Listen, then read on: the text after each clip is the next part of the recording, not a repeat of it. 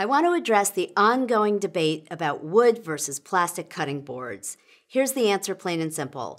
Either one is fine. What matters is the way you take care of them.